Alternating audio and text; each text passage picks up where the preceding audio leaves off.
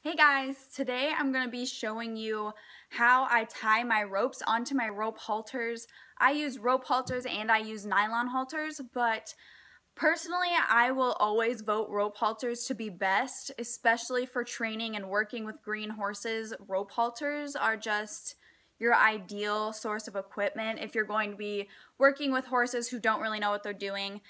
So here I have a regular nylon halter. This is what most people use, English and Western. But um, these halters are great for a nice broke horse who's been there, done that. That's what I use them for, for my two horses. But for green horses, these really aren't the best. They really don't have the same pressure points as a rope halter does. Plus, on these halters, every metal piece is a weak point on a halter. Everywhere that has been stitched is a weak point for a halter. And these, I've seen so many of these break. I have ones that have broken. Um, they have these dumb breakaway halters now these days, of course, that break all the time. My friend has one that she has to get repaired because they break all the time.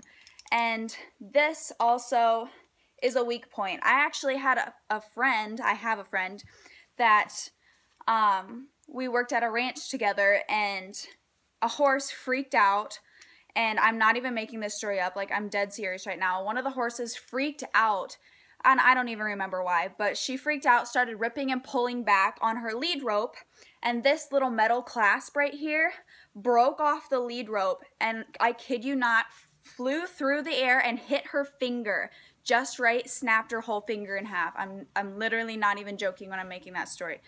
But anywhere that has metal is basically a weak point on a halter. That's why I love rope halters. They don't break.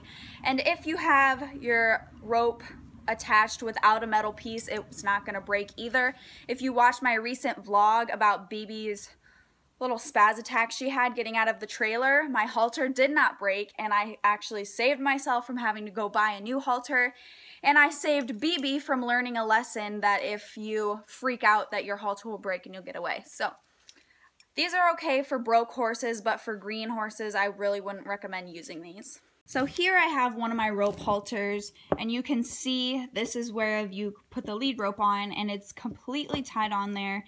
It There's no chance this is going to break. This is the one BB actually freaked out in, and it didn't break whatsoever. Um, so yeah, pretty efficient way to tie these. So I have a lead rope over here, and you can see this rope just has a clip on it. And you can do this if that's what you like. But personally, I don't want to risk this breaking. And it's really not that efficient because this rope halter doesn't weigh very much, right? So these heavy snaps, I've noticed they flop around, dangle when my horse hits, um, my horse shakes his head, these will hit him in the face or in the chin, and it's just really annoying to have this heavy clasp on here. So I don't typically like to use that method. I have my rope that we're going to put on this particular halter.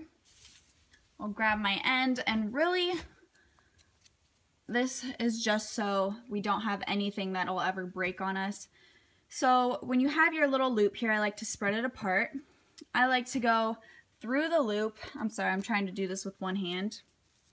Through the loop like this. So just like that. Then you take the rope, go around the loop. Okay, let me see if I can do this a little better. All right, so this is really the best way I could show you because my stupid phone won't focus, and that's what I'm using to film today. So, you're gonna take your rope, and then you have the little loops here that you clip the lead rope onto. And how I do it, I just go up through the loop, like so. Just go right through it. Then you take your rope and go around both of the, the loops, right around the back, and then you go back down through. And that's how I attach my lead ropes to the rope halter.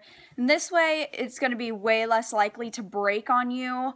Um, it's also not technically tied onto the rope, so you're going to have less likelihood of having to ever cut it off it might be it might get really tight over time, but you won't have to cut it. You can just pry the two apart.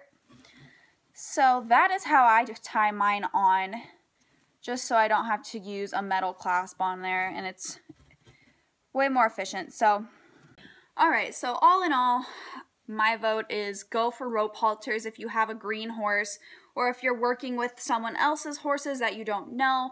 I have personally had this halter for a really, really long time, like probably five or six years. This halter has held up very, very nicely. I've worked with a lot of horses in these, and um, I broke out my horses in these halters, and yeah, they work really, really well. I honestly like the ones that have the four knots on the noseband a lot better. These create a little more of a pressure point than a rope halter like this that just has the two on the sides. And nylon halters really don't have either of those. Not that you should rely on pressure points, but they are um, just a lot nicer in my opinion. I don't know. But that's how I train horses. So go for rope halters, guys. Thank you guys so much for watching. I'll see you in my next video. Thanks.